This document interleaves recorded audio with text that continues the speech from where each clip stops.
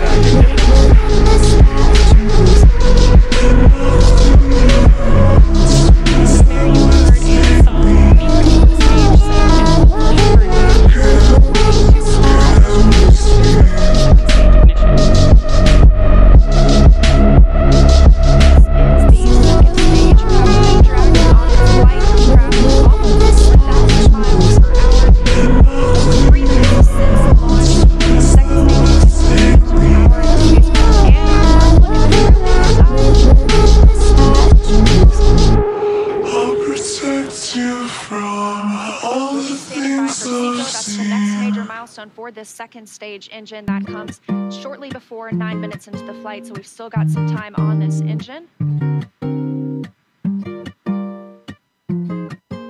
So right now, while Crew 7 makes its way to orbit, our first stage booster is making its way back to land. So you may hear the